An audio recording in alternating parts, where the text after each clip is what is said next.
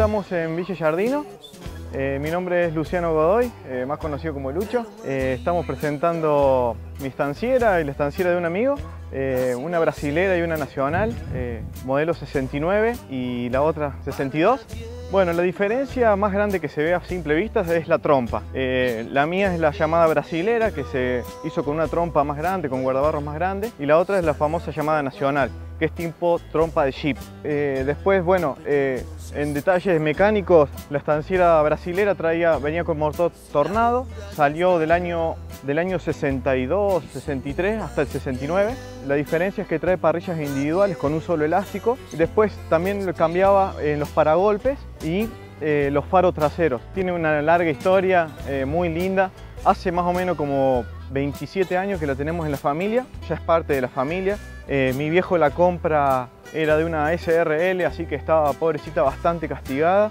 Y bueno, la empezó a restaurar de a poco. A los 18 años mi viejo me la regaló. Y bueno, ya es la tercera vez que la modificamos, la tercera vez que la hacemos nueva. Y bueno, esta última vez se le dio un toque un poco más nuevo, se le hicieron un par de detalles, eh, más a la época. Partiendo de la mecánica tiene un motor Toyota eh, con caja de quinta, eh, que bueno, hace muchos años que ya está puesto. Tiene frenos a disco, luces de xenón, vidrios enteros, DVD, bueno, equipo de música.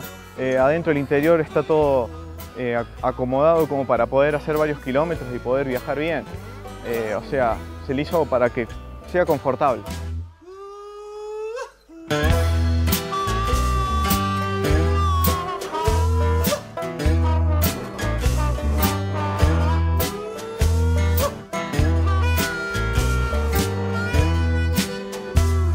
Cristian Benito, me dicen Piri. Vengo a presentar la camioneta de un cliente del taller. Es una estanciera modelo 62 y a su lado tengo la estanciera de mi amigo Luciano Godoy. Eh, ya fue presentada por él, ya le dijo sus datos técnicos. Y ahora les paso a presentar la estanciera de José. Tiene elásticos Pullman, hecho un trabajo todo de chapa y pintura a fondo, un color buscado por el dueño. Le puso llantas cromadas, le puso varios flotante, freno a disco, eh, pedalera colgante, dirección de Torino, eh, barras estabilizadoras atrás y adelante. Y se le hizo también un trabajo con un agente especialista en escape.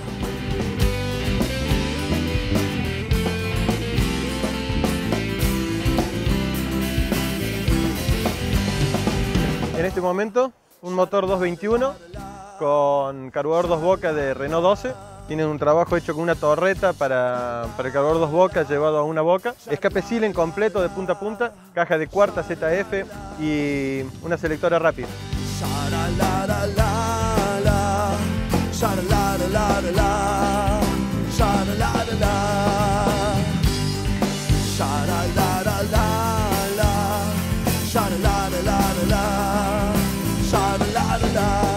Hermano es propietario del taller, yo trabajo para él y bueno, con mi hermano comparto las mayores horas del día.